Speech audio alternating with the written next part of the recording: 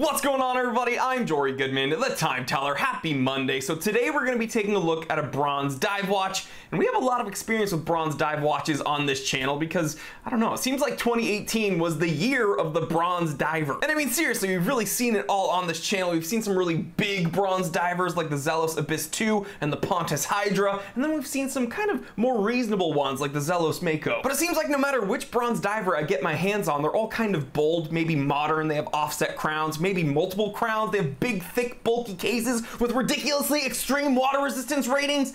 And that's cool, but what if you're not into that? What if you're done with that? What if you want a bronze diver with kind of a refreshingly vintage charm? It's 3.24 p.m. Let's get down to business.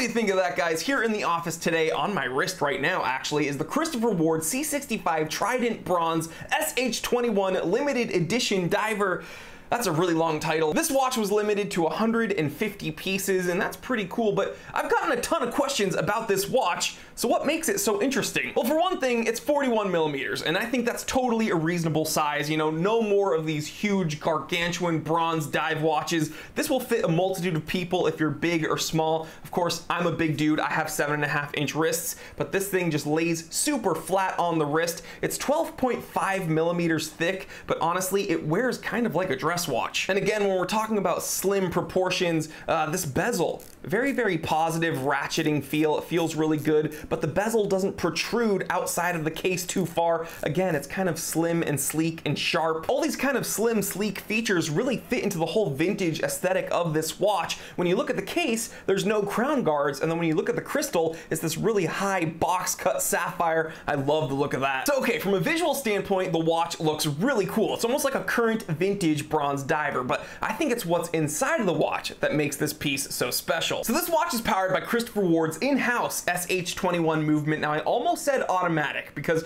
for those of you who are familiar with Christopher Ward, you'd know that the SH21 is their in-house automatic movement. But this watch is not automatic. Are you confused yet? So was I when I first picked this watch up. You see, when Christopher Ward designed this watch, they actually modified their own movement to make it hand wound. So with this watch, you're getting a chronometer certified hand wound movement with a 120 hour power reserve. So you only have to wind this thing up every five days. And of course, just by looking at it, you can tell you're getting a date complication and a really cool small second dial. I love those running seconds. Again, just kind of adds to that vintage aesthetic. Now this watch does have a 100 150 meter water resistance rating, but no threaded crown, okay? Not all, but most hand wound watches do not have threaded crowns. Um, but the good news is that this crown does have some really positive retention in the case. So I really, I would find it hard to believe that this thing will pop out if you're swimming. Now, one thing that really stands out to me about this watch is you're getting a lot of information from it, right? You're getting a unidirectional rotating bezel that you can time things with. You're getting small seconds. You're getting a date complication, all these things on the watch, yet it's not cluttered at all. I mean, seriously, it's a very clean presentation. It's very easy to read, very legible, and I love, love, love the font they used on the date complication. Look at that 17. I love how they did the seven. Very cool. And because I know I'm gonna get a ton of questions about it, you are getting some decent lume on here. Now, it's not Seiko's Lumibrite. I don't think anyone will ever be able to beat Seiko's Lumibrite lume, but I think this is probably some form of Super Luminova. It shines pretty well. But overall, guys, just from a fit and finish standpoint, everything's very tight, tidy, and sharp. And I mean, I've spent about a month with this watch, and and wearing it daily is very, very easy. Again, doesn't really feel like a diver. So guys, I've had a ton of fun with this watch. And again, I've gotten a ton of questions from people about this watch and a ton of people complaining to me that they want a bronze dive watch, but they're sick of the bulky, bold designs. Guys, believe me, I hear you, I get it, and take it from me. It's kind of refreshing to see, I don't know, kind of a more refined, elegant take on a bronze diver. And there you have it, guys, the Christopher Ward C65 Trident Bronze SH21 limited edition diver.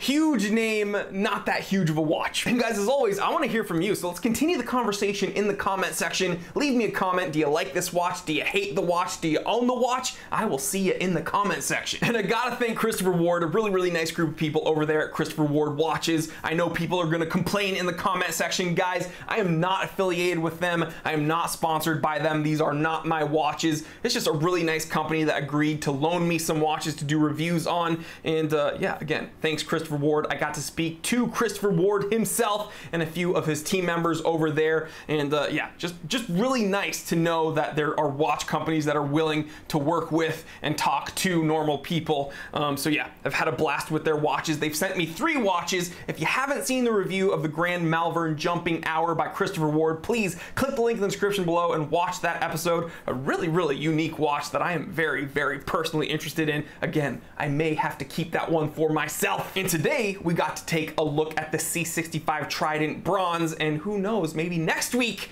we will have mm, a moon phase to look at. I don't know. I don't know. I don't know. You'll, you'll, just have to wait. So again, thank you, Christopher Ward, for the watches. I don't want to send them back, but I will send them back. And thank you so much for watching the episode, guys. I know you have holiday shopping to do, so click the link in the description below. Check out the Time Teller shop. I have watches, watch toolkits, watch straps, watch winders. Pick something up. Support the channel. Means a ton to me. Thank you so much. And if you're new here, if this is your first time joining us here at the Time Teller channel, go ahead, click that subscribe button. It takes one second and it helps me out a ton. And while you're at it, you can go ahead and click that little bell icon so you do not miss an episode of The Time Teller. There's just so much more awesome content on the way and you don't want to miss it. I'm telling you guys, please like, comment, and subscribe. Share this with other watch enthusiasts, other people you think would enjoy this. I'm Jory Goodman, The Time Teller, and always remember, I didn't invent time.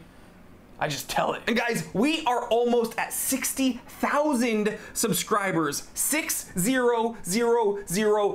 I am mind blown, guys. 2018 has been crazy. Never would I ever have imagined we'd be here. 2019 is gonna be a million times crazier. Guys, thank you so much for supporting the channel. I love each and every one of you. We are almost at 60,000. I love you guys.